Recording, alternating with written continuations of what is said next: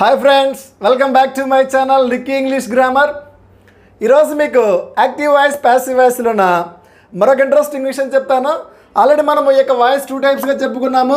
అవి ఒకటి active voice passive voice ఈ యొక్క యాక్టివ్ వాయిస్ ప్యాసివ్ వాయిస్ని మనము త్రీ టైప్స్ ఆఫ్ సెంటెన్సెస్కి రాస్తాము. అవి ఏంటివంటే ఎసరేటివ్ ఇంపరేటివ్ ఇంటరాగేటివ్ అలాగనే ఎయిట్ టైప్స్ ఆఫ్ టెన్సెస్ అనమాట మొత్తం మనకి ఎయిట్ టైప్స్ ఉన్నవి. సారీ మొత్తము త్రీ టైప్స్లోన ఒక్కొక్కటి four four three four sir twelve వీటిలో ఎనిమిది టెన్సెస్కే మనం రాస్తుంటాము. కాబట్టి అవి ఈ యొక్క సెంటెన్స్ వైజ్గాను టెన్సెస్ వైజ్గాను మనం ఎలా రాయాలో ఈ వీడియో ద్వారా మనము క్లియర్గా నేర్చుకుందాము. ఇక్కడ మనం గమనించినట్లయితే ఇప్పుడు మనం ఫస్ట్ మోడల్ ఏంటంటే అసర్టివ్ సెంటెన్స్ చూసుకుందాము. ఈ యొక్క అసర్టివ్ సెంటెన్స్లోన మనము ఈ యొక్క ప్రజెంట్ టెన్స్లో ఉన్న రకాలను మనం నేర్చుకుందాం ఈరోజు. ఎలాగా? మనకి ఇప్పుడు ప్రజెంట్ టెన్స్ని మనం గమనించినట్లయితే ఈ యొక్క ప్రజెంట్ టెన్స్లోన మొత్తం మనకి four types of sentence tenses ఉన్నాయి. ఒకటి simple present tense next continuous present continuous అంటాం దీన్నే.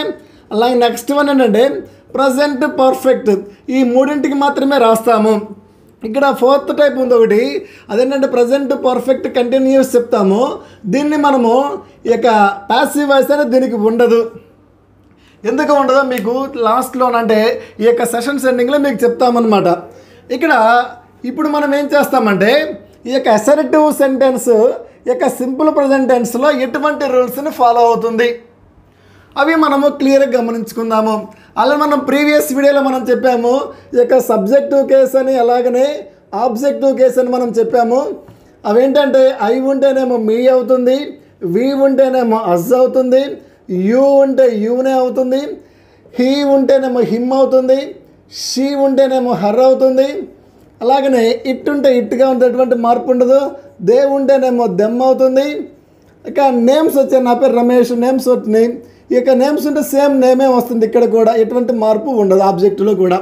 ఇవి మీరు కొంచెం గుర్తుపెట్టుకోండి. ఇక నెక్స్ట్ మనం గమనించినట్లయితే ఇప్పుడు ఈ యొక్క అసర్టివ్ సెంటెన్స్లోన సింపుల్ ప్రజెంటెన్స్ గురించి నేర్చుకుందాం ఇక్కడ. ఇక్కడ ఈ యొక్క సింపుల్ ప్రజెంటెన్స్ యొక్క స్ట్రక్చర్ కూడా మనం నేర్చుకొని స్ట్రక్చర్ వైజ్గా ఇవి గ్రామర్ నేర్చుకుందాం ఇక్కడ. ఇక్కడ యాక్టివ్ వాయిస్లో ఈ యొక్క సింపుల్ ప్రజెంటెన్స్ యొక్క స్ట్రక్చర్ ఎలా ఉంటుందంటే ఈ క్రింది విధంగా ఉంటుంది. ఎలా ఉంటుంది? సబ్జెక్ట్ ఉంటుంది. Plus V one plus object plus other words. ఈ విధంగా ఉంటుంది ఒకటి. ఇక నెక్స్ట్ ఈ యొక్క ప్యాసివ్ వాయిస్కి వచ్చేసేలోపు గమనించినట్లయితే ఇక్కడ మనకి ఈ యొక్క ప్యాసివ్ వాయిస్ ఎలా ఉంటుంది? ఆబ్జెక్ట్తో స్టార్ట్ అవుతుంది. ప్లస్ అంటే ఆబ్జెక్ట్ అంటే వీటిలో అయి ఉంటేనే మీ అవుతుంది ఇలా వస్తుంది. నెక్స్ట్ హెల్పింగ్ వెర్బ్ ఉంటుంది సూటబుల్ హెల్పింగ్ వెర్బ్. అంటే ఇది ప్రజెంట్ టెన్స్ కాబట్టి మనం రాసే హెల్పింగ్ వెర్బ్ ఏంటంటే ఈజ్ లేదా ఆర్ వస్తుంది. ఈ యొక్క ఈజ్ వచ్చేసేలోపు మనము ఈ యొక్క సింగులర్కి ఉపయోగిస్తుంటాము. ఆర్ వచ్చేసేలోపేమో ప్లూరల్కి ఉపయోగిస్తాము. ఇక నెక్స్ట్ మన రూల్ ఏంటంటే ప్లస్ వి త్రీగా మారుతుంది ప్లస్ బై ప్లస్ యొక్క సబ్జెక్ట్ అనేది ఇలా ఆబ్జెక్ట్గా మారుతుంది. ఈ విధంగా మనము ఈ యొక్క ప్యాసివ్ స్ట్రక్చర్ నేర్చుకుంటాము. ఇప్పుడు ఈ యొక్క స్ట్రక్చర్ బేస్ చేసుకుని ఒక ఎగ్జాంపుల్ రాద్దాము. చూడండి ఒకసారి ఏం రాస్తాను ఇక్కడ నేను? ఐ ప్లక్ ఏ ఫ్లవర్ అన్నాను ఇక్కడ నేను.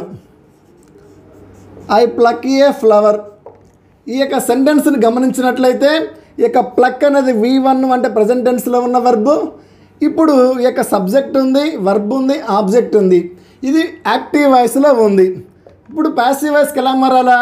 ఫస్ట్ ఏం రాయాలి మనము? ఆబ్జెక్ట్ని రాయాలి ఈ రూల్ ప్రకారము. ఆబ్జెక్ట్ ఏంటి? ఏ ఫ్లవర్. నెక్స్ట్ ఏం చెప్పాము?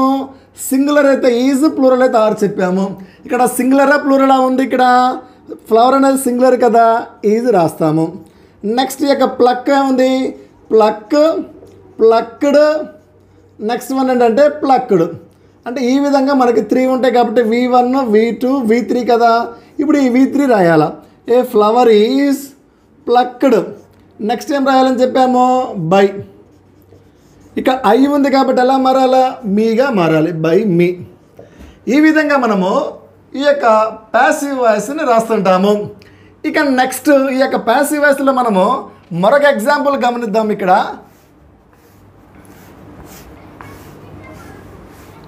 ఇక నెక్స్ట్ ఎగ్జాంపుల్ చూడండి. హీ డ్రైవ్స్ ఏ కార్ ఈ ఎగ్జాంపుల్ గమనిస్తే చాలామంది పిల్లల పొరపాటు ఏంటంటే డ్రైవ్స్ అనగానే ఇది ప్లూరల్ సెన్స్ అనుకుంటారు. ఇది ప్లూరల్ కాదు ఇది. ఇది సింగులర్ వెర్బ్ అంటే వెర్బ్లో సింగులర్ ప్లూరల్ ఏముండవు ఈ యొక్క రూల్ ఏంటంటే సింపుల్ ప్రజెంట్ టెన్స్లోన సబ్జెక్ట్ స్థానంలో థర్డ్ పర్సన్ సింగులర్స్ అంటే ఈ మూడింటిని మనము థర్డ్ పర్సన్ సింగులర్స్ అంటాము.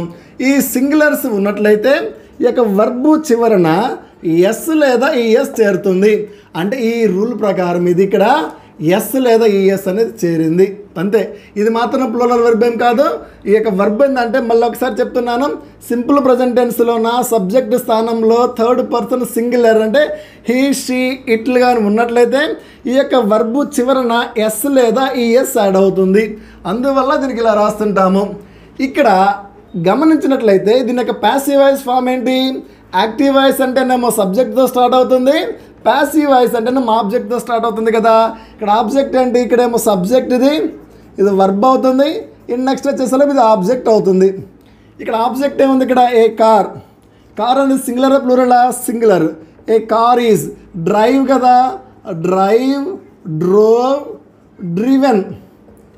కాబట్టి ఇక్కడ వి త్రీ అంటే మనకి కార్ ఈజ్ డ్రివెన్ బై ఇక్కడ హీ ఉంది కదా. హీ ఉంటే మనం ఏం రాయాలని చెప్పాం? మనం ఇక్కడ హిమ్ రాయాలి డ్రివెన్ బై హిమ్ ఈ విధంగా మనము ఈ యొక్క సింపుల్ ప్రజెంట్ టెన్స్లో రాస్తుంటాము. ఇక్కడ నెక్స్ట్ ఎగ్జాంపుల్ ఒకటి చూద్దాం ఇక్కడ. యూ కుక్ ఫుడ్ ఇక్కడ ఈ కుక్ ఫుడ్ అన్నప్పుడు ఇక్కడ సబ్జెక్ట్ ఉంది వర్బ్ ఉంది ఆబ్జెక్ట్ ఉంది. యాక్టివ్ వాయిస్ ఇది. ప్యాసివ్ వాయిస్ ఎలా రాయాలా? ఫుడ్తో ఆబ్జెక్ట్తో స్టార్ట్ అవ్వాలా? ఫుడ్ సింగులర్ కదా. Is a food is cook cooked cooked అవుతుంది కదా. A food is cooked by you అవుతుంది. అంటే ఈ విధంగా మనము ఈ యొక్క యాక్టివ్ వాయిస్ ప్యాసివ్ వాయిస్ని నేర్చుకోవాల్సి వస్తుంది. ఇక మరొక ఎగ్జాంపుల్తో చెప్దాం ఇక్కడ. ఇక ఎగ్జాంపుల్ ఏంటంటే మనము ఈ యొక్క సెకండ్ పర్సన్ తర్వాత ఇక్కడ. చూడండి ఒకసారి. You play guitar you play guitar. ఇక్కడ గమనించినట్లయితే ఇక సబ్జెక్ట్ వర్బ్ ఆబ్జెక్ట్ ఉంది. కాబట్టి ఇక్కడ నేను ఇప్పుడు ఆబ్జెక్ట్తో స్టార్ట్ చేయాలా? గిటార్ అంటే సింగులర్ కదా. Is played by you. ఈ విధంగా రాస్తుంటాం. యూ అంటే యూనే మారుతున్నటువంటి మార్పు జరగదు. ఇక నెక్స్ట్ ఎగ్జాంపుల్ చూద్దాము.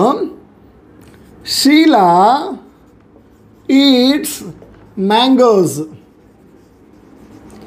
ఈ ఎగ్జాంపుల్ గమనించండి. ఇక్కడ Sheela subject eats verb mangoes object. ఆబ్జెక్ట్తో start చేయాలి కదా. ఇక్కడ మ్యాంగోస్. మ్యాంగోస్ అనేది సింగులరా ప్లూరలా ప్లూరల్ కాబట్టి ఏం రావాలా? ఆర్ రావాలా? Mangoes are eaten by Sheela మనం పేర్లో వస్తేటువంటి మార్పు ఉండమని చెప్పాం కదా. ఈ విధంగా మనము వీటికి సంబంధించి రాస్తుంటాము. ఈ విధంగా మనం ఈ యొక్క సింపుల్ ప్రజెంట్ టెన్స్ గురించి ఈ యొక్క యాక్టివ్ వాయిస్ ప్యాసివ్ వాయిస్ నేర్చుకుంటాము. ఇక మీకు కానీ ఈ వీడియో నచ్చినట్లయితే నా ఛానల్ని సబ్స్క్రైబ్ చేయండి షేర్ చేయండి లైక్ చేయండి. Thank you have a great day